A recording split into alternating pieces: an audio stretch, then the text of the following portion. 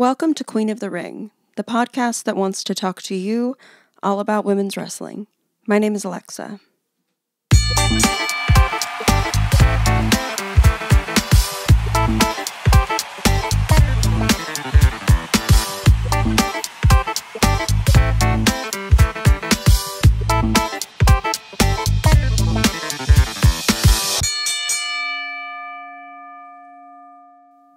Today's episode is going to be a little bit different than usual. Instead of regaling you with the facts or history about a person or topic, I'm going to be doing a little bit of a mini-sode about AEW Full Gear 2022. The wrestling promotion All Elite Wrestling had their pay-per-view Full Gear this last Saturday, November 19th. While there was so fucking much that happened during this 4-hour pay-per-view, I'm going to talk about just two things really that caught my attention and I found particularly captivating. The pay per view was action packed, things were happening constantly, and what I'm going to talk about is only amongst a million things that happened that were incredible, such as the Elite versus Death Triangle and the wrestling that takes place when those six people are together in the squared circle is just incredible. Nyla Rose and Jade. I'm a Nyla Rose stan, so I, I, you know, I wanted her to have the TBS championship, even if she stole it. I think she should keep it. there was MJF's cock ring, and then separately William Regal's brass knuckles. There was a lot to honorably mention before I really get into this episode. But what I'd like to focus on for this mini episode that we have here is the comeback of Saraya and the match between Toni Storm and Jamie Hayter. Firstly, I want to start off with the comeback of a century with Saraya. Saraya was previously Paige in the WWE, as I'm so sure many listeners know. Through the different enterprises she would enter in the WWE, she went through a lot in front of the fans. She was battling a drug misuse and addiction problem. She went through relationships, engagements, and this was all on a television show on E called Total Divas. While you're watching the show, you see when Saraya gets injured and the conversations that she has with the higher ups around her, and just how hopeless and completely out of control she feels. While she was wrestling Sasha Banks, the incredibly famous wrestler, she accidentally got a kick a little bit too hard to the head and broke her neck. Apparently, I mean, I'm not a doctor, so I don't fucking know really, but the separate fusions that she had gotten on her spinal cord and surgeries after that had proved a little bit counterproductive because it had drained her spinal fluid completely.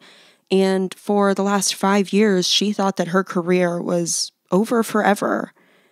It's all so incredibly sad knowing just how important wrestling is to Paige and her whole family. Her brother, her mother, and her father, and I think another sibling of her, they're all wrestlers, and she's been wrestling since she was 13 years old. I don't want to get too deep into the weeds about this because I, of course, want to do a Saraya episode in the future, but, you know, suffice it to say, those five years were crazy for her. A lot went on, and it kind of led her all to this place of wanting to come back to a wrestling ring, even if it was just as a valet. But because she found out that she was going to be medically cleared, she could wrestle again. And it's all so emotional and people keep calling it a miracle. And I don't know if it's if it's that. I mean, I'm not a doctor of the spine, but it does seem pretty fucking miraculous. And coming back into the space in this ring that she just has always thrived in, she gets the opportunity to be her wrestling persona, but now as the person that she is and has become over these years. I mean, she started wrestling so, so young, and it's exciting for her that she now gets to take that persona that she created so long ago and make it who she is now. In an interview with Chris Van Vliet, she talks about how she gets to evolutionize herself now. She isn't the same person that she was when she was like that scene kid wrestling in a wrestling ring. She now gets to show how much she has evolved. And something interesting is that when she came into the ring, you can see that evolution in her ring wear and her ring gear. She still wears these black pieces with leather but she's wearing this kind of like elevated type of bondage harness on the top that I would absolutely love to see her continue to expand upon and grow on from that one look to keep going because I think that looks so cool. Because I just love the way that fashion can create identity or support identity and help with one's character. It's it's just such a fascinating part of wrestling, I think but she still references Paige with some of her fashion choices. You know, it's still two pieces, kind of like she used to wear, and those fishnet stockings with her Doc Martens. She's still pulling from this person that she was and is still. I just wanted to bring this up briefly because I'm so happy for her and I'm so excited to see where her career continues to go. She had her match with Britt Baker that she won, and I'm just hoping to see her continue to spread her sweet little wings and fly away. Now I want to get into a match that I found particularly captivating during Full Gear 2022. Toni Storm versus Jamie Hayter. I'll start with Toni because she was the first that I was introduced to. I knew of her because of Stardom Wrestling in Japan, and then, of course, because of the WWE. And I just absolutely think she is amazing. I'm so impressed by everything that she does. It's just captivating and awe inspiring. And there is no question that I feel the same way about Jamie. I found out about Jamie through AEW itself, but I know she has a lot of fans from the indie scene, and she is just such an incredible wrestler, and their dynamic together is magical. I took some notes throughout the match, and I kind of just want to try to go through them with you and take you step by step from what made me feel crazy in this match and how much I loved it. First of all, I loved how they both came out Jamie looked so fucking cool with this new hairstyle, and Toni looked classically her. It was all very fascinating. And the way that Jamie Hayter is over by the crowd, not just on that Saturday night, but every single night that I watch AEW, is incredible. The crowd fucking loves her and they eat up every single thing she does. While the match was starting, I saw the most incredible Jamie Hayter poster that someone made that just said, "Hater?" question mark. I love her. and that just really made me laugh.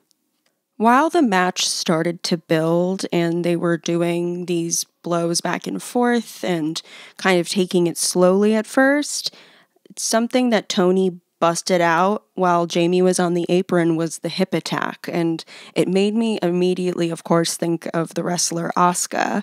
And they, of course, also have, as I previously mentioned, a connection through stardom wrestling. And they do kind of have a similar style of wrestling as well. And while we're watching as the audience, Toni and Jamie go at each other, you it is just so clear how they have such amazing chemistry between them. They it doesn't hurt that they have a similar hard-hitting style that is just rugged. But they have such a good flow between the two of them and you can tell that they're friends in real life maybe or that they just get along and that they know each other well.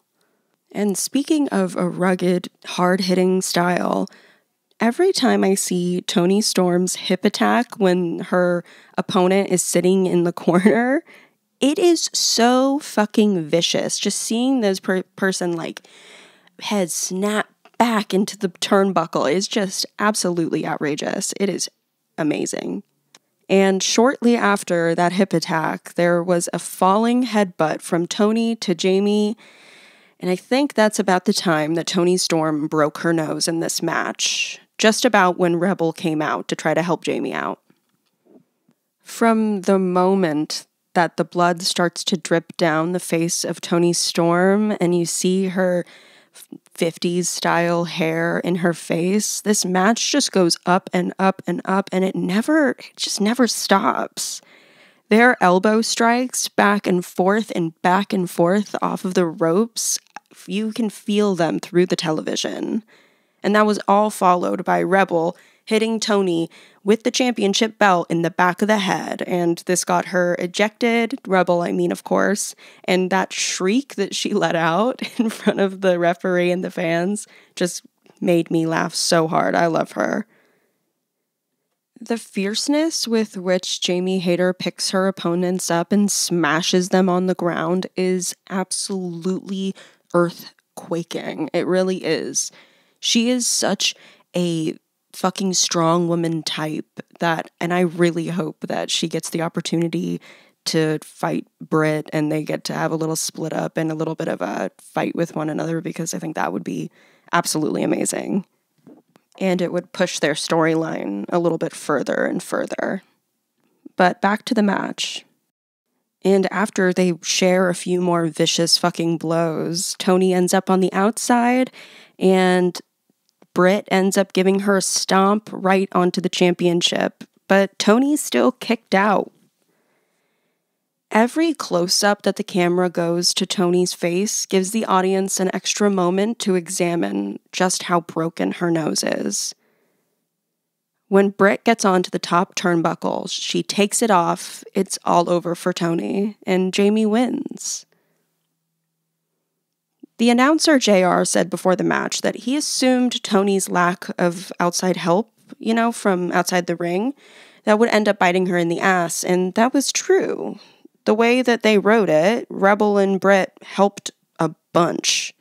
But I still thought it was such an incredible match that I wanted to talk about, and I know maybe I didn't go through all of it, but I just wanted to touch on a few points of it and keep it short and sweet. But I just thought it was the best match of the night next to the Elite and Death Triangle. If you're still here, I want to say thank you so much for listening. Queen of the Ring is written and created by me, Alexa Pruitt, and the music is by Kreider Dane of Helter Skelter Music Productions. If you like what you hear, please join me again. Thank you so much.